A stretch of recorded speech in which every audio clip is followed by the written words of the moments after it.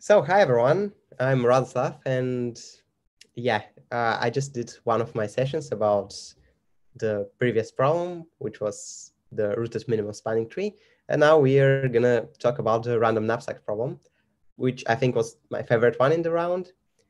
So yeah, let's, I guess, go straight to the problem statement.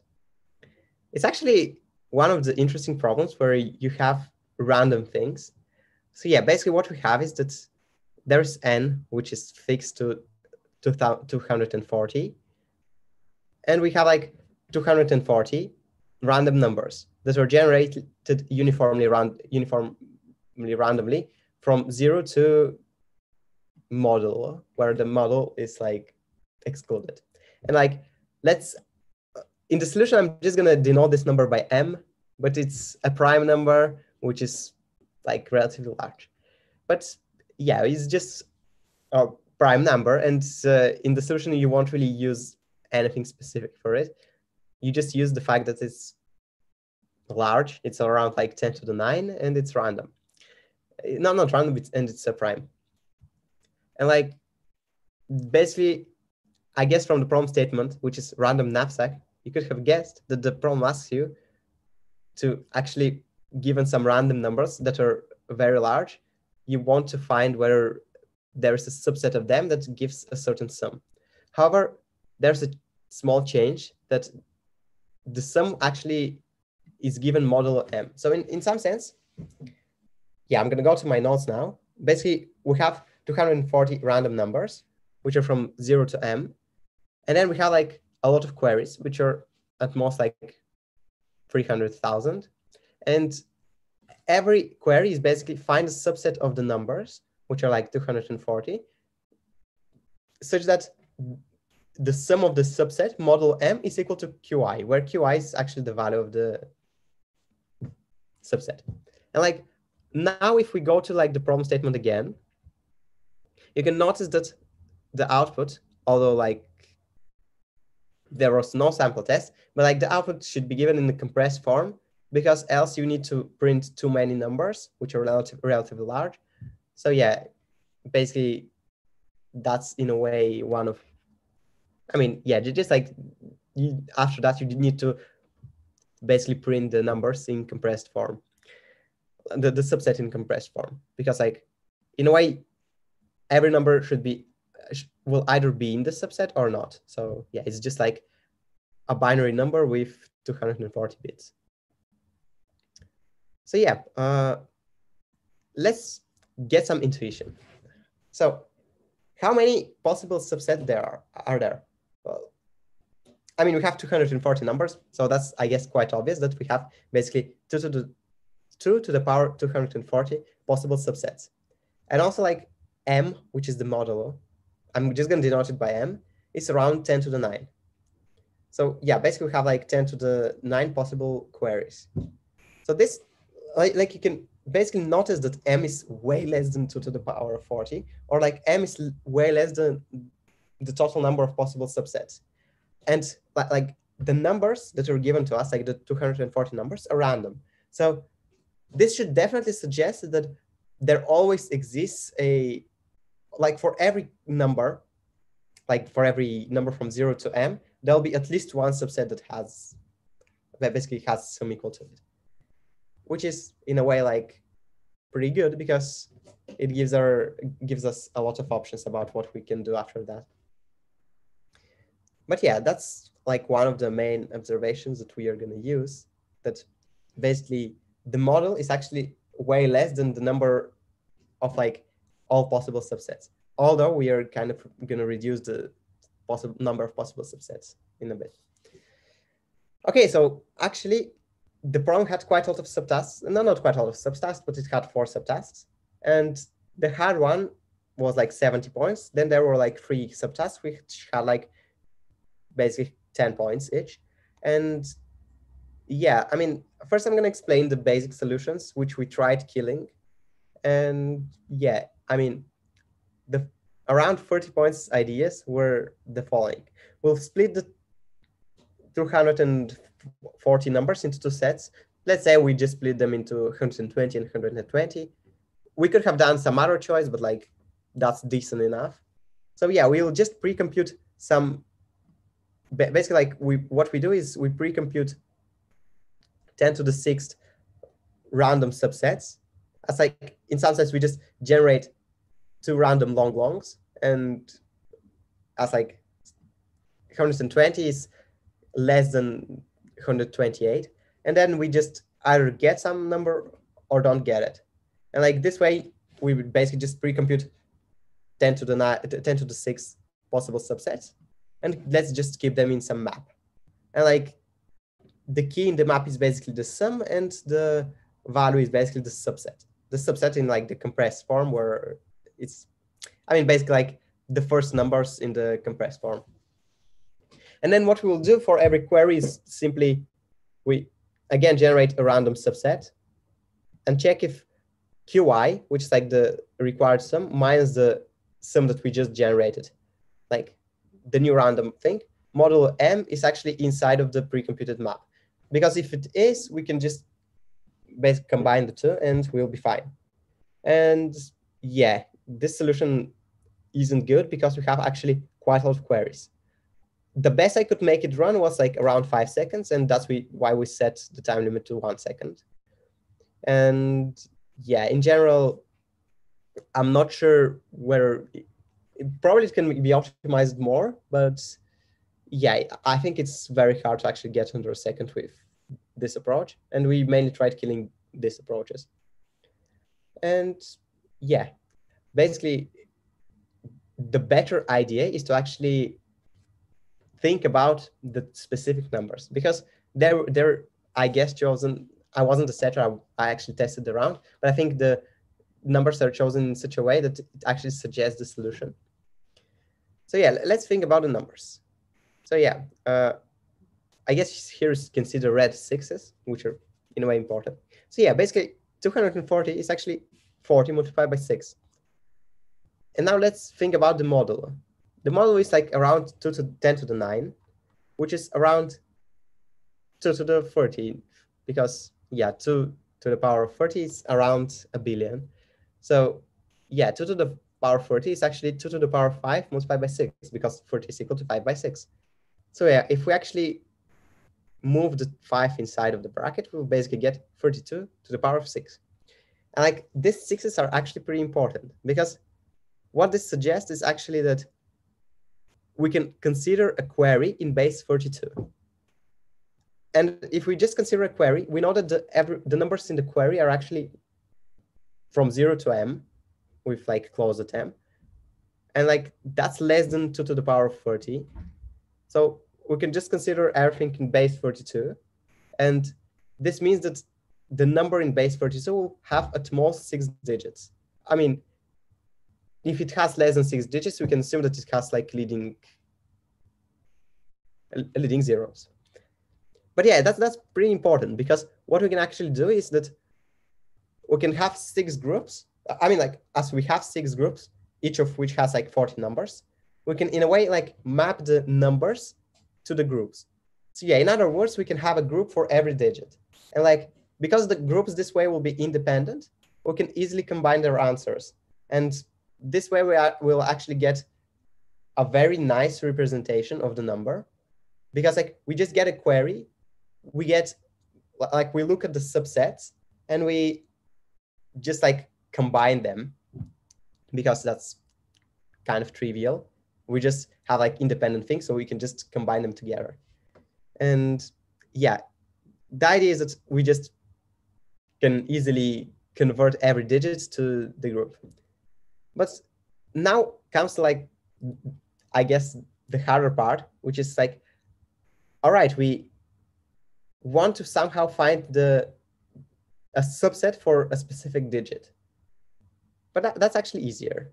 And I'm going to explain why. So yeah, like formally, what we want to do is for a group K, like we have six groups. So for every K from zero to, so from zero to five, because like we have six groups, and including 0 and 6, uh, we find a subset with some a multiplied by 42 to the power of k.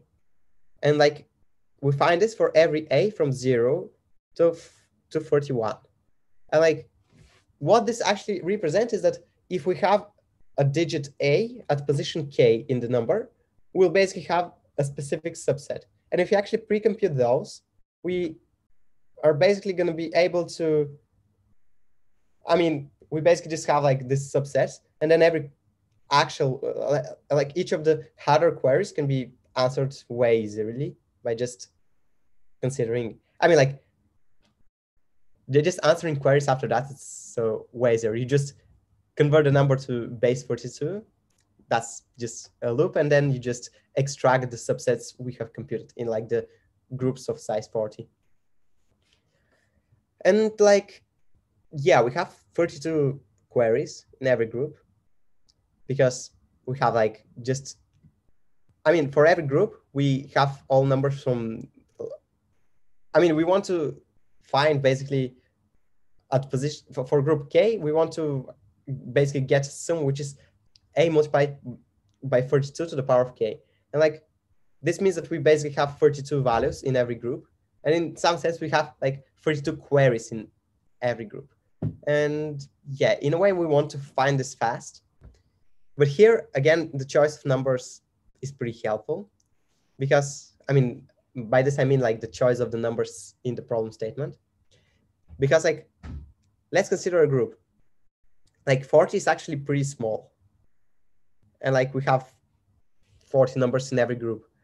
And yeah, what we can do is actually do mid in the, yeah, let me actually just zoom in a bit. So yeah, 40 is actually relatively small, so we can actually do meet in the middle. And yeah, we just split 40 into two groups, for example, like 20 and 20. And we just generate all possible subsets for the, I mean, for the first group, we'll just generate all of the possible, all possible subsets. And let's say we'll just add them to some hash map or just a normal map. And then we just go through all subsets in the second group and we, I mean, we have 32 queries. So we just solve each of the 32 queries separately. And what we do is basically we just go through all subsets of the second part and we check whether the query, which is like 42 multiplied, 42 to the power of k multiplied by a, like for every a, that's our, these are like the queries I mean. And like we just go through these queries and we just check whether the value we want minus the current subset in the second half is present in the hash map for the first part. And yeah, that's pretty easy. And this complexity, the complexity then will be of the pre-compute will be six because we have six groups multiplied by 32, multiplied by two to the power of 20 because like, yeah, we multiply by the total number of, I mean, th that's basically for the subset. And yeah, that this should actually pass because it's pretty fast.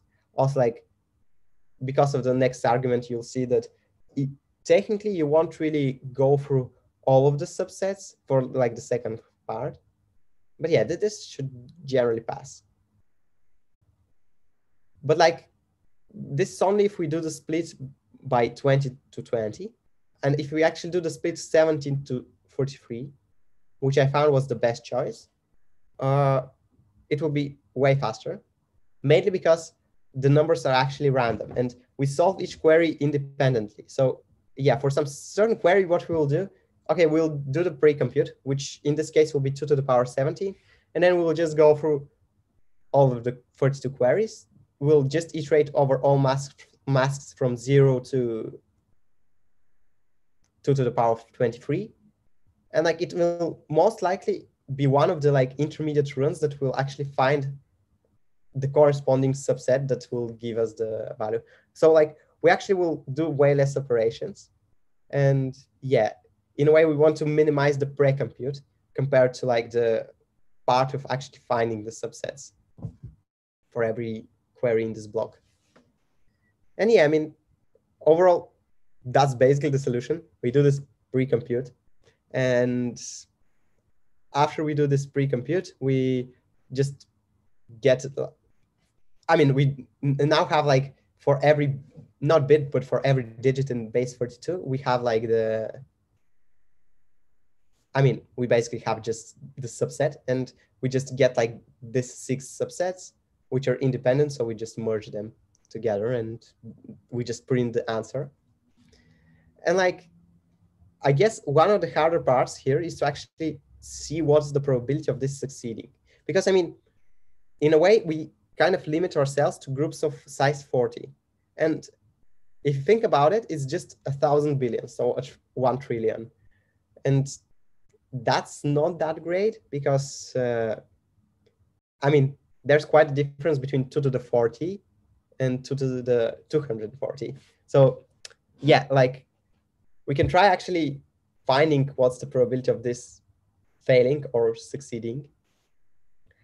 So yeah, uh, in a way, like the probability of the whole algorithm succeeding would be that we need to have like, so, all right, we have like a bunch of blocks, like the six parts we have like for every digit. And like all of the, so we need all of the blocks to succeed. And like also for every block has to have the 32 digit values as subsets. So in, in some sense, like if one of the digits isn't found, then it's a failure. And like we want to avoid that. But like, yeah, the main thing is that the numbers are actually random. So this means that if you actually get a random subset, it should, and like then model it by m, this will actually yield a random sum. I mean, also random number. So like if we just get a random subset, this will also give us like a random number, uniform random from zero to m. Maybe not really random, but it will be approximately random. And like, I mean, when we actually try calculating the probability, we don't really care about, I mean, the probability of something failing, which is, I mean, if something like this is the solution. So like if it fails, the probability is most likely very low. So in some sense, we just want to approximate it and like show that it's very low. And yeah, one way to like actually gain some intuition, and I think that this will be more important because if you actually try getting the theoretical analysis, you will probably get something kind of ugly and it's kind of hard, I guess. But like one very simple way to actually approximate it is to actually consider the number of, like let's just look at one block and like just consider the, I mean, uh, just consider the subsets and then the possible values. So yeah, there are like two to the 40 possible subsets. Assuming that all of them are independent, which isn't, it's obviously not the case because, I mean, you can just have like, I mean, if you just have some two subsets where one of them contains the other, these two are obviously not independent.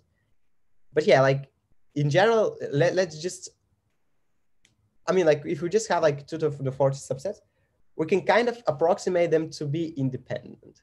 Although like, I mean, that's just a nice way to actually think and like we'll see how low the probability will be. And this will suggest that even if they, even if they're in, if they're not independent, which is the case, the probability will still be pretty low.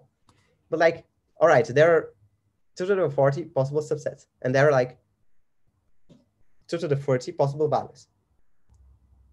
Let's consider like the probability that a certain value doesn't exist, which is, I mean, like assuming that the values are independent and looking at one certain value, basically the probability of this value not existing is m minus one over m to the power to the 40. So in some sense, like this thing, which is side, gives us the probability of the number not being I mean, th this means that we have like basically m minus one choices because we can choose everything apart of from this fixed value. And yeah, what we, the overall number of values is m. So in other words, we have like for a single number, it's m minus one over m. And like if we actually power this to 2 to the 40, it becomes very low, as you can see. So I mean, like this kind of suggests that even if the numbers, if like the subsets as like for every subset we have like a random value even if we use like some approximations and like in general the, there is the fact that this thing isn't uh, like the things there aren't independent the probability is still very low like even for a fact like 2 to the 30 here is actually also very large. It's like 10 to the minus minus four, I think. Like if you just power it to the power 30. So yeah, I mean, maybe it's a bit low or a bit more, but like, again, it's less than 0.01%. So in general, like, even if you, you had like just 30 subsets, the probability would be would have been very low if we consider the events independently. So yeah, I, I guess like this gives us like the intuition why the probabilities are pretty low.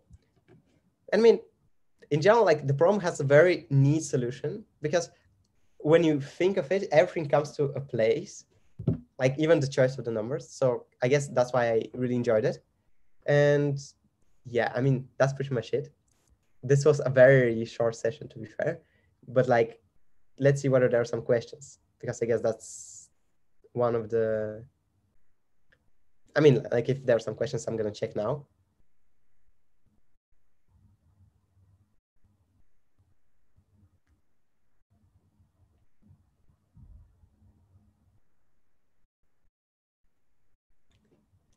okay, I'm gonna leave it here. I'm just gonna look for questions. But like in general, I feel like for this problem, it's better to just go straight to the solution.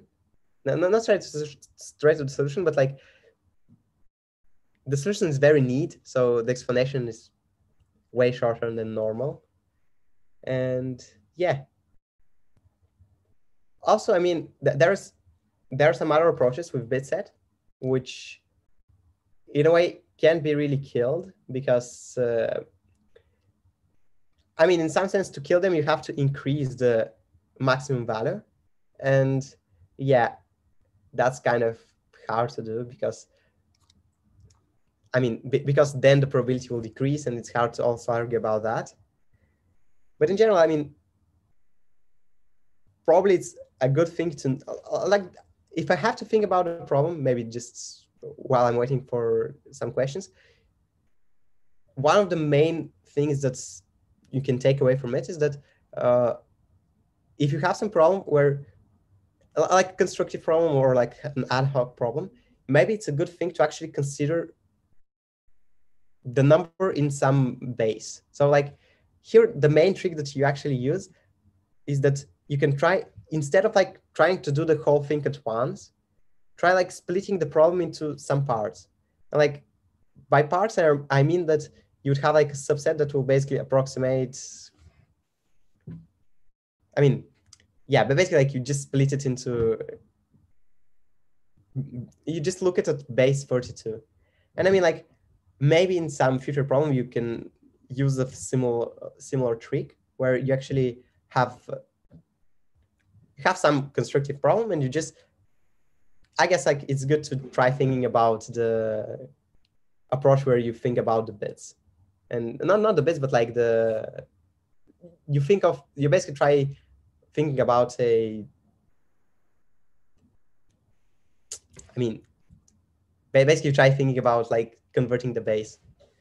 Okay, so there's a question about the initial part. What did you mean by the initial part? Did you mean like the so yeah, I tried explaining it quite fast. So yeah, can clarify it?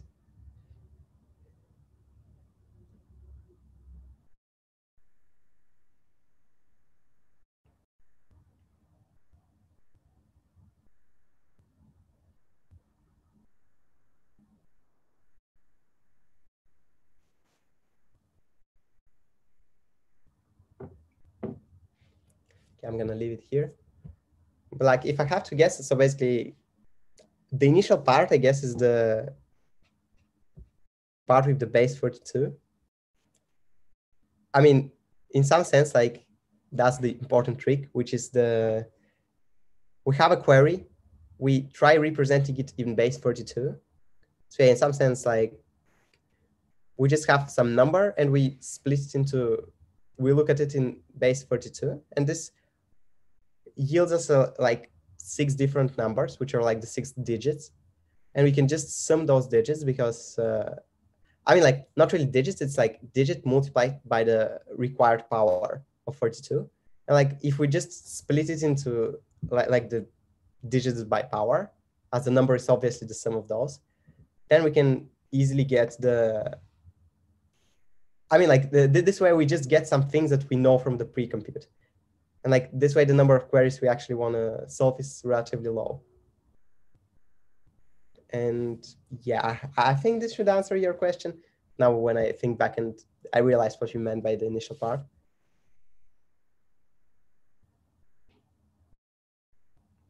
So yeah, there was also okay, so yeah, it's the splitting part apparently. And yeah, in some sense, like, okay, I'm gonna answer like the next question. The next question is about like the approximation. Is there a better way to approximate it? I'm gonna talk about it in a bit, but like first, again, to just clarify the splitting part, we just have like the a number and we want to, we just like split into base 32. So yeah, in some sense, if you think about it in binary, we just get like the first five bits, then the second five bits, and so on. Because like, yeah, two to two to the power five is like the it's like 42. And like we would get like every possible number because like like this five bits can be from uh, like from zero zero zero like four zeros to like four ones. Yeah, I'm not gonna write them because I'm using a mouse pad, and yeah, uh, the touchpad. Um, but like, yeah, in general, the idea is that we can split the number into such blocks, and then we can just combine the answers. Hope this answers the question. So yeah, after that, uh, I guess the approximation. So, I mean, like, in a way, if you think about it, that's kind of familiar, like the whole approximation is in a way familiar to hashes. And like, as I mean, if I have to go like into a lot of details, I would have to explain quite a lot of things about hashes. So maybe like, I guess like some intuition is that you can think of like m as the model of some hash and 2 to the 40 as some basically a string, which is, yeah, basically a string. And like,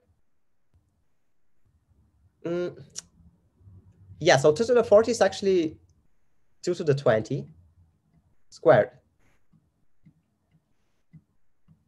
Because like we basically have like just 2 to the 20 squared strings. And like a nice way to actually argue about the whole thing as some other intuition, which I just thought of, and it seems to make sense. Because like the thing about strings is that they're actually dependent. I mean, well, like substrings. And like if you use m as a hash and you have a string that has length 2 to the 20, and you consider all of its substrings, which are around like 2 to the 20 squared, then like the probability of this failing is the probability of having a collision. And actually the probability of having a collision is pretty low for a million characters. You have like to specially construct it. But we know that the string is random. And if it's random, you having the probability of having a collision is actually very low. And I hope like if you actually try looking into ways to actually approximate the probability of polynomial hashing failing, because like in a way it's similar to this problem as yeah, the two are kind of the probabilities are probably kind of close. I guess uh, this can help you with gaining some more intuition. But I mean, like in general, in general, when you have a problem with hashing, can you have uh, two to two to the length equal to two to the twenty, you're pretty fine with just uh, using some polynomial hash. And if you want to get like some more theoretical analysis, I guess just try looking up how to do uh, the theoretical analysis for hashing. There are like just a bunch of either tutorials about from some competitive programming people, but also there are a lot of papers. You can just choose one, I guess. Also, I mean, like some online classes may have it. I mean, some universities might have posted their thing, but yeah, in general, that these are like two ways to approximate it, and yeah.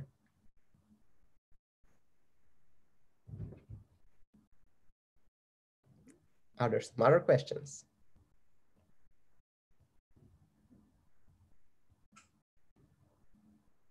Mm-hmm.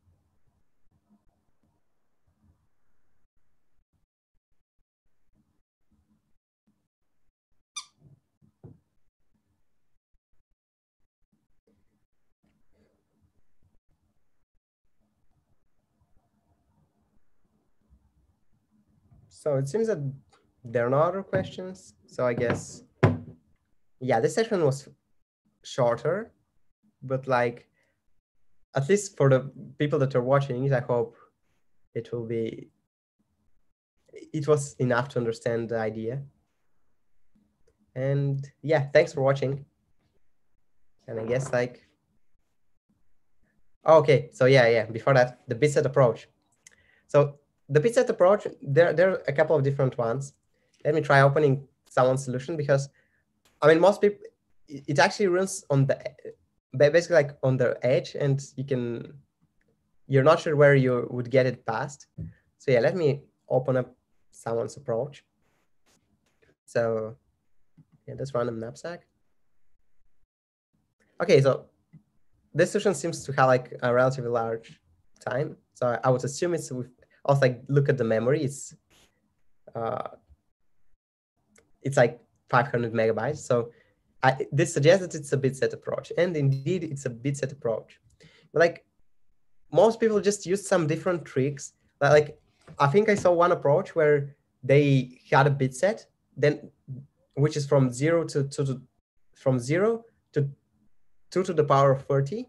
And like basically they compressed a couple of consecutive numbers into,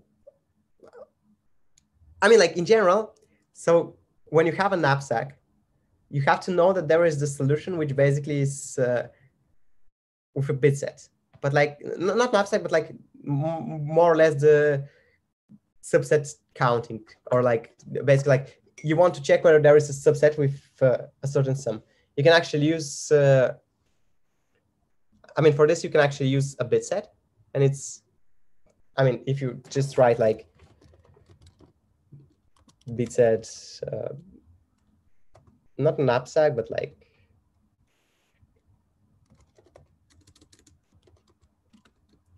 oh, it's like zero one bit uh, I think, actually. Okay, so I mean, yeah, basically there are some tutorials and yeah, you can check it out. But like the main idea is that people just tried optimizing this uh, approach with like the bit set. Also like, but yeah, I mean like you can try finding it. But in general, it's some optimizations of the whole thing. You can try like reading some people's solutions. So to be like completely fair, when I tried like uh, writing the solution, I couldn't pass in time of it. I mean, I was able to get like five seconds or six seconds, but I couldn't get a decently fast solution. And yeah, it's not the intended solution, but you can try like seeing how other people passed it. But yeah.